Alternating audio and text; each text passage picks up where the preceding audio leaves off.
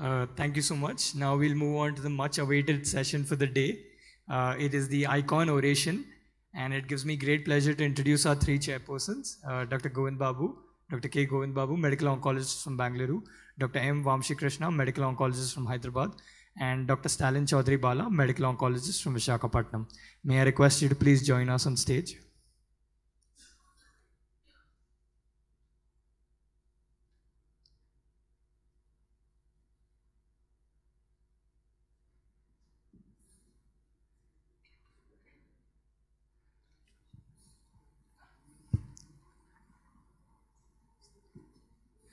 I now request you to please introduce our orator. Uh, can we have the next slide, please? Uh, it's my great pleasure to chair this important session. And our orator is none other than Dr. Atul Sharma. I think everybody knows him. And uh, you have his uh, slide here. He was in AIIMS for a very, very long time, and he has left recently. It's a sad loss to AIIMS, but then, uh, you know, as you know, uh, most of the medical therapy in India, almost 70% happens in the private sector.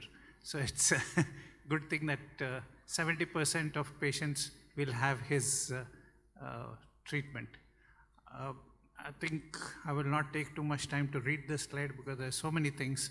and I think the topic that he has chosen is very, very relevant. Cancer burden and preventive strategies, time to fasten street belts. Dr. Atul, please.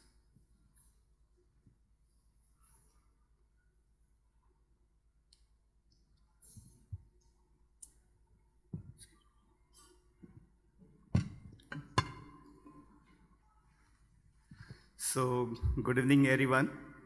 Thank you, organizing committee, scientific committee, Vamsi, Nikhil, and Stalin for giving me this opportunity for a very, very important job. So I consider myself very lucky to be chosen or asked to deliver oration for this Golden Jubilee icon meeting. Many, many thanks and congratulations to Dr. Purvish Parikh who has seen and guided last 50 meetings without failure and probably I consider him nothing short than nothing less than a one-man army. So I, I, when I was asked to do this thing, I was thinking, what should I be talking about? So I thought that I should be talking about something which I did not do. And honestly, I regret that I did not delve on into this topic or did not work for this thing. So basically, read it as rising cancer burden and lack of preventive strategies. And now this is the time that we should be gearing ourselves and probably contribute so that we can take care of this problem problem. So probably we, I'll talk about something about, and honestly, we don't discuss this topic very often in scientific meeting or so I'll be talking briefly about nothing new, some cancer burden, what is the prevailing situation, what can we do, where are the high risk area, who are high risk uh, candidates or uh, individuals, and what is the importance of the prevention, screening, early diagnosis, what are the available or prevailing practices, recommendation, and of course, last but not the, not the least, this is an important aspect which require multi-pronged strategy involvement of everybody sitting in the audience and beyond that. So coming to this thing, so probably I'll say that probably still we probably should be thinking ourselves lucky India should be thinking itself lucky that probably we do not have that many cancer diagnosed each year. And I'll come to that. The development come with the price tag. And when I go to the US data, you'll see that really this is a price some society will be paying for the rising cancer incidence. We are a country of one, uh, 1.4 billion.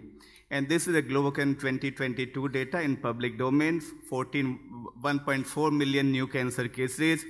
And you, I'll draw your attention to the fact that probably out of this, probably each year, probably close to two-thirds of the patients, that is close to 9 lakhs or 900,000 we are losing.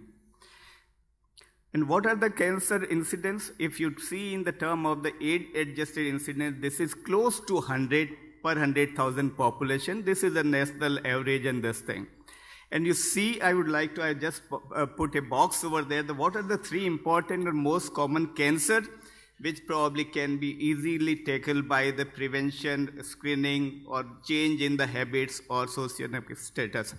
Breast cancer, lip and oral cavity cancer, and cervical cancer. For all these three cancers, we have enough evidence from the country, outside the country, that probably these can be prevented at an early stage. If you see, and I pro probably I'll compare this to the US data also, see the age-adjusted mortality rate. Incidence rate is close to 100, mortality is close to 64, 63, 64, almost two-thirds of the patient. And again, the most three most important cause for the cancer-related death are the three, the same three cancer which are very common: cancer, lip oral cavity, and cervical uterus or cervical cancer. So this says that probably, probably this is just nothing but just talk about the what are the common cancer. If we prevent or cut, cut down this thing, we can significantly reduce not only the incidence but also the mortality related to this, these three or four cancer, lung included. So this slide shows that the top three account for about 33% of the new cancer cases breast, lip, oral cavity, cervical cancer. If you add the lung, esophagus, it goes close to 45% or so. And this account for about 30% of the cancer related death. If you add this to liver, prostate, larynx, which is again probably can be easily diagnosed or probably prevented because of change in the personal habit or this thing, that can even go up. I can. So now probably you compare Indian data with that of the US data. Our population is 1.4 billion, almost three times that of the United States. And each year we're dying of 1.4 million new cancer cases. We lose about 900,000 cancer case, uh, uh, uh, people to the cancer. See the US data, 335 million is their population, almost about 25-30% of what we have in, in India. The cancer incidence, 2.3 million. So this is the important I wanted to highlight. The, with the development, India is going to, next couple of years going to be a developed nation. So we should be minding this thing and keeping this in mind. Possibly we will be having the number of cases cancer also being rising. Number of deaths compared to India, 2.3 million new cases each year, just 600,000 cancer related deaths in United States 1.4 million and 900,000. So we exceed number of cancer related death in India compared to United States. The reason possibly early detection, early diagnosis. Of course, the facilities are more, they have the more manpower and so on. But of course, main contributor is also early detection and diagnosis. I did not, if you really know about the, want to know about the cancer incidence in the China, China also has a population just similar to us, 1.4 billion. Each year, 4.8 million new cancer cases are diagnosed in China. Our cancer, age-adjusted cancer, uh, age-adjusted cancer incident rate is close to 100. United States more than three times, 350, 400. China, it is double what we see in India.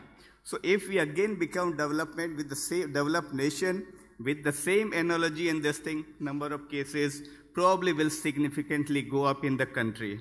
And this is the time we start acting. This is again probably I don't need to go into this thing. So this was an article in IJMR about two years ago. Cancer incident, incidence estimates for 2022 and projection for 2025. NCRP, one can argue whether we just cover less than 10% of the population, United, United States, some Nordic, uh, can, uh, Nordic countries, probably they cover all 100% of the cases. But probably, we are the third highest number of new cancer cases in the country after China, which is 4.8 million, United States, which is 2.3 million, and we 1.4. Globocan predicted that cancer cases in India would increase to 2.08 million in next four to five years, in next 15, 16 years or so. And one in nine. United States is one in three or one in four. In India, it is right now one in nine uh, likely to develop cancer during lifetime. So of course, screening becomes very, very important. Of course, we know the lung, breast cancer are the leading site of cancer, male, female, respectively. So what are the solution for this? This is the data, published data from one of my uh, uh, previous colleague at uh, AIIMS, Dr. Gandhi. He wrote 70%, probably, I still probably, to be on safe side, 50 to 70% of the cancer which we see in India are modifiable or preventable. So large number of the problem or mortality or incident we can prevent by simple changing the lifestyle, early detection, diagnosis, implementing screening. So cancer prevention, screening and early diagnosis are the most cost effective and efficacious measure to prevent and control the cancer burden in India. This is very, very important. We need to gear up. Establishing a well-functional health system which focuses on cancer prevention, screening, and early detection requires attention to three specific pillars which must be strengthened. So we do have the cancer registry, they are close to 36 now. Medical and health education, we are going towards that, and community-based screening and preventive strategies. For prevention, what, what, what, this is very important. For prevention and screening, community-based intervention are likely to have the most immediate important effect. In United States also, where the screening pro program are in place for last many decades, only 50 to 60% of the population will be going for the regular screening. So we are sitting in India where still we do not deny is a much uh, significant factor for us not to consider screening kuch ho jayega pata nahi kya niklega. So emphasis should be on how society, society in general, clinical society, our society, other social societies, intervention can occur within clinical settings to better incorporate community intervention across not only the tertiary, primary, and secondary level of care also. So we do not want a situation where anybody, everybody will be coming to the metros or tier one city for the treatment and this thing. We need to strengthen then the probably tier two, three, and this thing. That is what happens in the most developed nation. The National Program for Prevention and Control of the Cancer, Diabetes, Cardiovascular, and Stroke advocated and proposed preventive, promotive, curative, and rehabilitative care to cancer patients at all level of the health system. This was started in year 2010.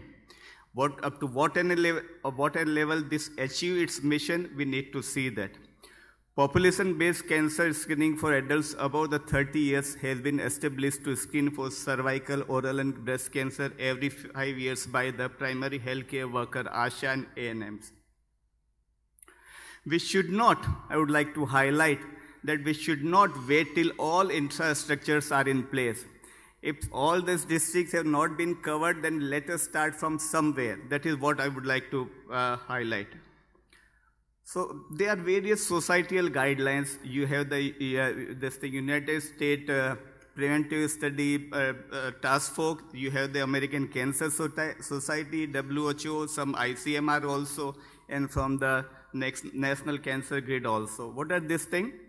So there are certain recommendation. I don't need to go. These service basically have a, whether the recommendation A means that the, we have the significant level evidence that probably it prevents the cancer-related mortality or uh, uh, incident. B benefit for patient moderate level of this thing. So there are different, certain differences in the various science, uh, this thing, uh, societies and guidelines.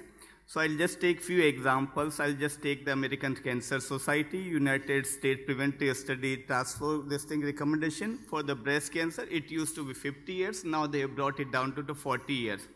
They do suggest 40 to 40 years. Choice of annual mammogram is given. But 45 to 54 years, they suggest annual mammogram.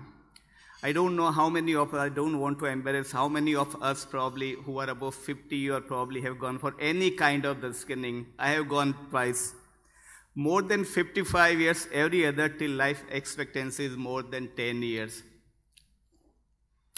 With regard to the colorectal cancer, for again where we have the level 1 evidence that it prevents the colon cancer and also the mortality, now suggestions is there some difference between the USPSTF 50 uh, to 75 years versus 45 to 75 years. These guidelines are for the average risk individual.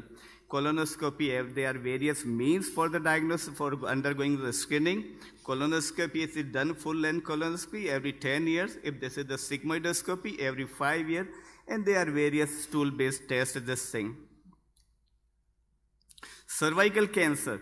Now our government has also started this thing, promoting this thing. Vaccination also is primary prevention of cervical cancer is ongoing. There are many state government who have advocated probably asking the girls in the age group of 9 and above, probably also in the 20s and this thing to go for this thing. So ACS is 25 to 65 years, preferably or primarily by the PCR HPV or co-test, which means the including the HPV and pap smear every five years. And uh, 40 to 40, uh, 45 to 54 years, this is the annual mammogram. Uh, sorry, it's a misprint, annual this thing, and thereafter till this thing. So lung cancer we do not uh, advocate. So nowadays probably I, I don't know what is others uh, this thing opinion or impression, but one area where the females are strictly and competing with the male counterparts is the smoking. At least in Delhi, if you go outside of any office or paan shop and this thing, every time you find the equal number of the men and women smoking and this thing, probably we'll see the effect in couple of years and this thing. So maybe that the high time. Why this early diagnosis is so important? Early detection can, there is the US data that early detection can prevent up to 90% of the colorectal cancer related death. 76% of the United States colorectal cancer death occur in the individuals who do not adhere to the screening. So this is the importance of this thing. Despite this, in the most developed nation on earth, right now 40, 50% uh, population will not go for the regular screening. Why, again, this is probably, I would like to stress and highlight why early diagnosis is important, earlier stage detection is important. This is a nice article published in about five, six years ago. Global surveillance of trends in cancer survival in various nations. You see 37 million cancer individual records were reviewed and this thing contributed. Out of, for the 18 cancer, out of 71 can, uh, countries, and 322 population-based cancer registry. There were the two Indian cancer registry, where the probably number of patients were 5, 6,000, Guwahati and one other place also. If you see, so on the top you see the colorectal cancer or GI cancer in general, the five years survival in the United States. From the, just, just take on the, this thing, I probably, I'll just, okay. So just take the last five year where the data 2010 to 14, esophageal cancer 16% five year survival, and you see the Indian this thing 4.1. Colorectal cancer five year survival in the Canada and US in excess of the 60%. Indian data 38%. So that this suggests that whatever we do, our cases are coming late probably they are not getting the desired treatment, and that's why the desired results we do not see. Similar to this situation, you see the breast, cervical, and ovarian cancer, and the prostate cancer, which again can be considered for the screening. There may be some debate on that. So, five year mortality rate between them and us is significantly different, so we need to stress and diagnose these cases early. I would like to highlight few exemplary work done from the India regarding the screening, and I'll take, I'm the, I know that many places have done this, South India, Chennai, and this thing, RCC, uh, Trivandrum have done exemplary work. TMH in Mumbai has done very good work. And so this thing, I was fortunate to witness or when this, uh, this was being presented at the 2013 ASCO plenary. I was there and probably made us so proud, this thing. Effect of the visual inspection with the acetic acid screening by primary health workers randomized control cluster study in the Mumbai, India. I won't go into the detail of the study for the want of timing in this thing. So this was started in 1998. This was a cluster RCT initiated in Mumbai to investigate their effectiveness to reduce cervical cancer mortality. There were 10 clusters, each about 75,000, so total of about 150,000 women.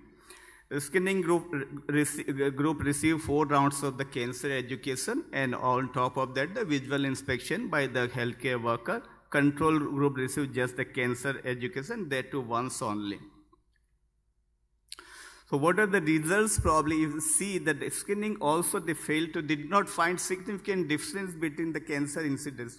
26 in the screening group and 27 per 100,000 in the control. That's not the all. Compliance to the treatment. The, those who were detected through a screen, probably they, the compliance to the invasive treatment was 86% compared to the 72%.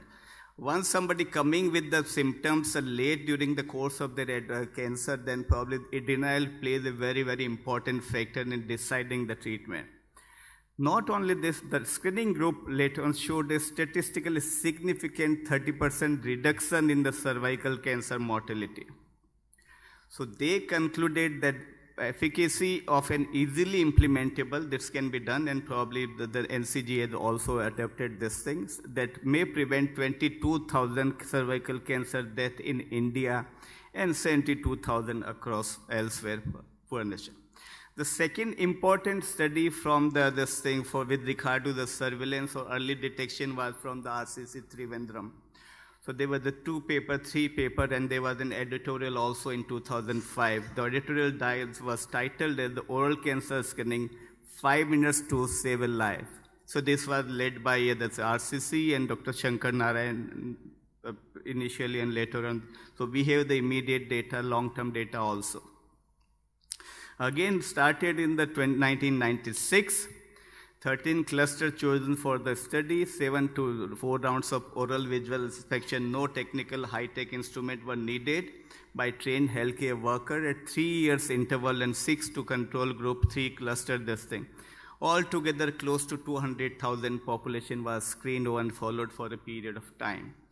They detected 205 oral cancer in the, and 77 oral cancer death in the screening group, uh, in, uh, in intervention group, that is the screening, compared with the 158. So immediate mortality was not very different, hazard ratio crossing 1.1. Uh, However, there was a redu- 34, one-third reduction in oral cancer-related mortality in high-risk individuals with tobacco chewing or smoking or alcohol drinking habits following oral visual uh, screening. So this is a kind of the low-hanging uh, fruit, at least for the high-risk population. Oral visual screening can reduce mortality in high-risk individuals and has the potential of preventing at least 37,000 oral cancer deaths worldwide. And we know that the most of the oral cancer-related deaths occur in our country. They presented the 15-year follow-up data also 24% reduction in oral cancer mortality in users of tobacco and or alcohol in the intervention arm after the screening. This suggested four rounds of the oral visual inspection and those who added to this thing, there was about 40% reduction in the oral cancer related mortality.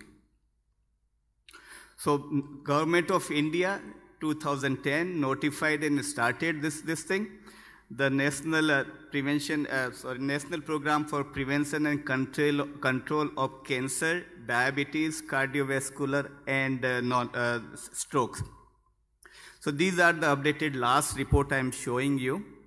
So these are the this thing. I don't know. I don't need to go into the details. So the idea was establishment of the NCD cells, non-communicable disease cells at all level establishment of the NCD uh, clinics at District Community Health Center, and there was the provision for the daycare center at the identified district to provide cancer care treatment.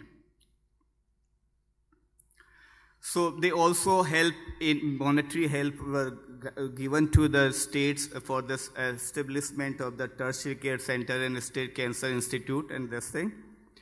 So this is the last report I see so published, I think uh, uh, in 2020. Uh, so February they were probably reported this thing.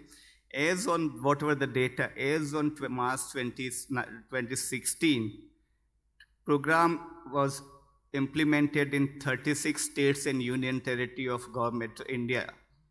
A total of 298 districts and NCD cells and district NCD clinics have been established. During just one year data I'm showing you, and this is really very, very important. I need your attention. During 2015 and 16, they screened close to 13 million, 1.3 crore million, and they detected 1% of that. Over 13,000 persons were detected to be having common cancer, including oral, cervical, and breast cancer. If you see the two previous screening programs which were continued over a 10, 15 years period, cancer detection rate was much lower than the 1%. But this mass screening program for the non-communicable disease, they could diagnose 1% of the population screened or provided help had the malignancy and that too the most common cancer usually we see in our country, oral, cervical and breast cancer. Based on this thing, at least National Cancer Grid probably adopted and recommended some guidelines. I probably will uh, this thing. These consensus guidelines and algorithms are consistent with existing evidence and appropriate in the context of the health system. I'll show you some of the highlights of this, these guidelines which have been propagated and suggested by the, I do agree with some recommendation, I may not be agreeing to some recommendation. So for the breast cancer, NCG India says that what is what probably I would highlight that at least essentially these can be done. Clinical breast examination by healthcare worker, trained uh, by this thing, the trained primary care staff nurses in the age group of 40 to 65 years. And they, they have the option of the optimal when in case the resources are there, you can go for the mammography, digit, uh, mammography in digital and MRI and so. What I like among this recommendation is that frequently, at least they say and probably plead at least one to three times in a lifetime. Why I do not like, uh, what I do not like here is that the, every case they wanted that it should be referred to the tertiary care center, and I don't think that is going to be wise strategy when we pick up a cancer, you send to Delhi, Mumbai, Hyderabad, Chennai, and this thing. That's not going to work. Similarly, they have the cervical cancer also. It's this visual inspection that can be easily implemented everywhere, and this is the preferred, at least in our country. If you have the resource for HPV or this thing pap smear, nothing like that. At least again, minimum is one to three times in a lifetime. Similarly, for the oral cancer, at least the, we identify the high risk individuals we have the many people of age, uh, this thing, population, younger, young students, probably school, college going kids, and this thing, consuming tobacco and this thing, alcohol, areca nuts, and so on. At least they can be screened by the, I think, healthcare worker, dentist, physician, and so on. So what is our job? At least we should be identify some high risk or incident area in the country, start screening there we also need to identify high-risk individuals. Who are the high-risk individuals? At least for the common, common cancer, breast, cervical, and colon, we know that at least the sibling maybe that is identified. Anybody who in a family history of the cancer, anybody who is carrying the BRCA1, 2 or other uh, this thing, pathogenic genes for this thing, mut mutation, this thing. So these can be this thing. So again, this high-risk population, one example is northeastern state of India. They were the report 2021, cancer scenario in northeast India and need for an appropriate research agenda. Why they did say that in 20, by 2025, they have the population about 46 million altogether and 70%, close to 70% is in Assam. But the cancer incidence is not highest in the Assam. This is in the uh, in Mizoram and this. So from the 50%, uh, 50,000, it's likely to be 57,000, a jump of about 14, 15% in five years. And what are the common cancer which can be easily picked up? Esophagus, hypopharynx, stomach, lung, liver, cervix. So I'll just put it this in a table, this thing saying, if you just see the, compare the incidence from India, we know that we have incidence close to 100. Delhi in the uh, um, Delhi has the highest age-adjusted incidence of 147 among the males, Bengaluru has 146, uh, highest incidence among the women.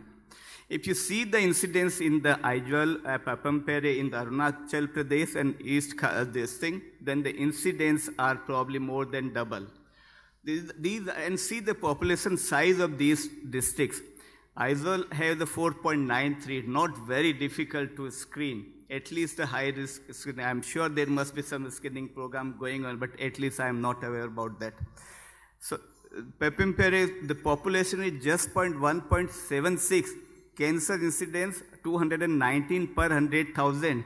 With the oral cancer screening by the RCC and the cervical cancer, we were not able to identify 100 cases also.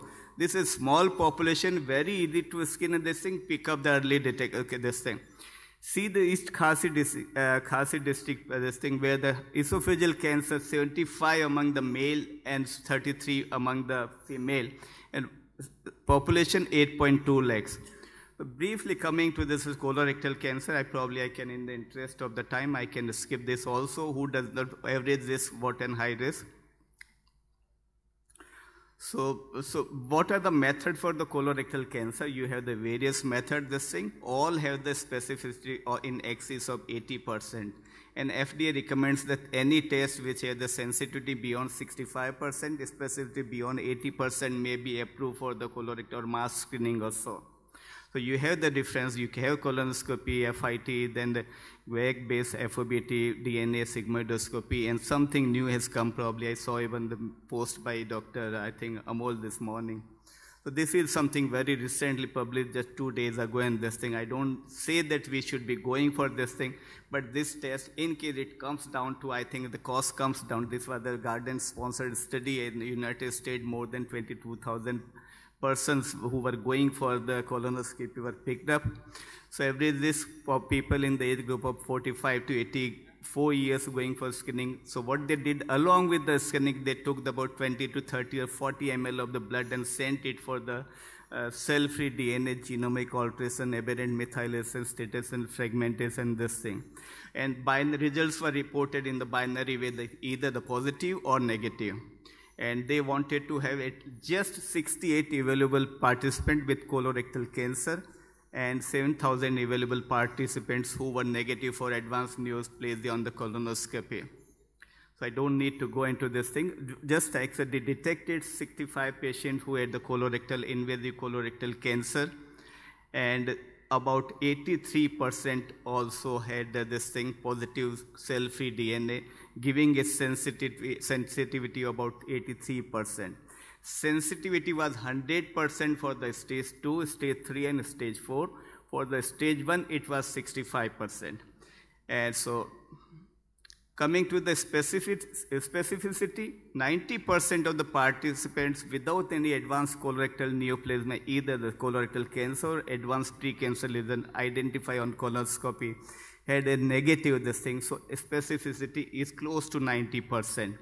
So this is very high. I don't say this is ideal, but maybe that once it comes to the country and this thing, maybe a few individuals would like to go for that. But the problem with this particular test is for the early stage or high grade uh, neoplasia and this thing, sensitivity specificity low. So what do we do? We have these guidelines or pictorial diagrams over the tobacco pouch and cigarettes and this thing ever since 2009 we used to every time every time if you go to a theater for a muse, movie uh, akshay kumar will be probably squeezing a lung or probably mukesh from the tmh ward or this thing you'll find. But is that adequate enough? Probably that is not this thing. These warning warning doesn't carry much of this thing. So ladies and gentlemen this is time to fasten our seat belt whether you want to ride individually, drive individually, perfectly fine, at least make some effort, or you want to enter us to somewhere this thing, say the group, most welcome to do that. So take home message, this is a multi-pronged strategy where we have the, all the stakeholders, uh, clinicians, we as oncologists probably, we have the utmost responsibility towards this cause we need to identify, we already have the high risk area and this thing, this is, I again say low hanging fruit. Identify high risk individuals, we see, examine patients whose relative had the cancer and this thing. At least we can encourage this thing. So it's very, very difficult. We did a small study in uh, AIIMS and at least 100 siblings, we were asked only 10 undergone the colonoscopy. Merko to nahi ho sakta. This is the biggest denial factor. And we all are, I consider that we all are the ambassadors for prevention, early detection, screening, and we should use to utmost in our routine clinical practice. And maybe that henceforth at least one session each, in scientific meeting probably may be attributed or kept reserved for either the screening, early diagnosis, prevention, so. And again, taking from the NCG probably at least one to three times in a lifetime may be there. And I say that you are never late. So even if we are 60, 50 or this thing, at least we can ask someone or probably go ourselves and this thing. With that, I would like with the folded head, I will say to Dhanivadalu, thank you very much for patient hearing and giving me this opportunity. Thank you, sir. That was, a, as usual, as expected, a great lecture. And I really like the fact that you have highlighted a point which many of us don't talk about how to prevent cancers and how we can screen it. We talk of big drugs and new medicines and molecules all the time. It's important to focus on screening. Thank you so much, sir. I, I would like to call Govind Babu sir to fill state Atul Sharma sir.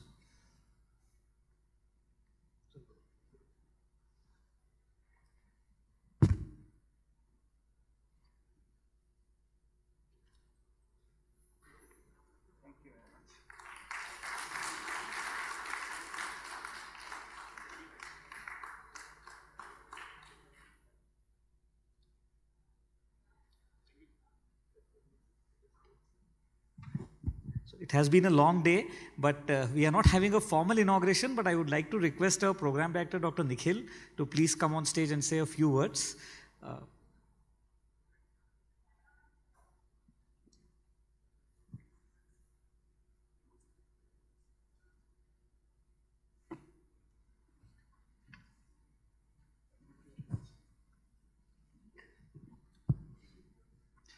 Indeed, it has been a quite a long day for all of us. And uh, before I start, uh, let me thank each and every one of you for being here, uh, even for the evening. And we have got another couple of sessions before we call it a day. Uh, as Vamshi just now mentioned, there is no formal inauguration. I think we are more into the newer newer days, but we all know that uh, we in our Sanskrit they say it's tamaso ma jyotirgamaya. So basically, whatever we are doing right now from our, uh, I would say, ignorance to the knowledge, and that is what the entire journey has been for this particular meeting. Uh, it has been uh, quite a fruitful day for all of us. Uh, Vamshi, Stalin uh, has really worked hard to keep the things in perspective under the able uh, guidance of all our seniors, Dr. Purvish sir, Dr. Govind Babu, Dr. Hemant sir, and everyone, all the seniors over here. The concept of icon was, I believe, was born uh, many decades, I would say a couple of decades ago, with the main purpose to really uh, give the youngsters the knowledge uh, what they are really looking for and to really uh, promote more of a clinical research, what, uh, you know, as a, as a new platform. And that has been the real success story for ICON for all these years. And that is quite evident when you see the even at uh, 6 o'clock, 6 o'clock or 7 o'clock, the halls for the especially the PG students are completely packed. And that itself is a testament that how important this meeting has been for students, not only from uh, uh, students from Telangana, but across India. So once again, I really uh, must thank all of you. Uh, take it as a formal. Yep, I've already taken name of Dr. Purvish already, but anyways, I think I'm, I'm sure uh, he has been the main pioneer, and I'm sure everybody he doesn't need any introduction. Yep, sir, please, please come. And uh, with this, I would say it's just an, uh, I would say informal inauguration, if not a formal one. And uh, uh let's have a couple of uh, days of more academic uh, discussions in next few next couple of days, and do the best for next two days, sir. Thank you very much, guys. I think the success of the Golden Jubilee icon is thanks to the hard work that Stalin, Nikhil, and uh, Vamshi were doing every day. I could see uh, Kashish talking to them every evening and catching up and uh, you know updating things. So I think the attention to detail is exactly what has made this successful. And Atul, so nice to hear the oration. Thank you very much.